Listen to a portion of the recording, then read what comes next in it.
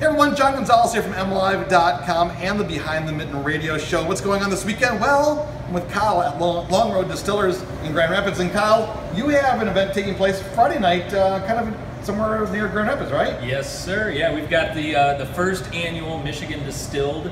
Um, it's our, our craft distillers guild in Michigan. We're doing our first festival. Over 20 different distilleries will be there pouring samples. We'll have some great food. We'll have some cocktails and uh, live music as well.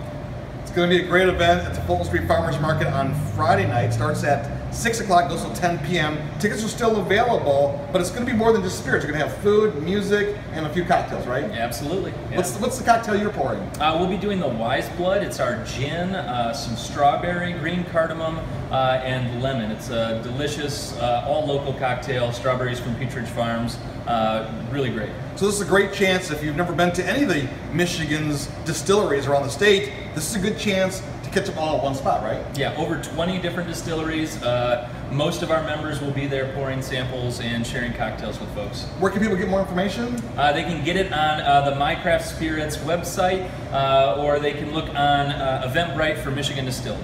Awesome. All right, night, it's supposed to be Fulton Street Farmers Market. Let's get, let's get to a few other events taking place in West Michigan. In Grand Haven, it's the 14th annual Salmon Fest. They'll have wine, they'll have some music, entertainment, oh, and salmon as well. There's a run, there's a cook-off. It's a great time on in Grand Haven if you want to get out there for this weekend. If you're in the area, don't forget Michigan Irish Festival taking place at Heritage Landing in Muskegon. Again, great music, great food, few beverages, as well. And don't forget, Fiesta Mexicana moves to the downtown market in Heartside Park this weekend, uh, Friday and Saturday. So, you know what?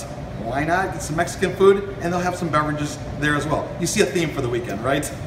uh, hey, real quick, Kyle, uh, before I get to what's happening on the Behind the Mitten radio show, uh, I understand this is also ArtPrize Preview Weekend, right? Yes, sir. We, and we are an ArtPrize venue here at Long Road Distiller, so stop on out. Our art is already hung up and you can check that out. Very cool. All right, don't forget, Behind the Mitten airs special time 10 p.m. Saturday on News Talk Radio 1300 and 1069 FM. We're going to tell you all about Fort Michilimackinac, Mackinac Mackinac City. We'll also take you to Beer to Bag for Beer of the Week. Make sure to tune in.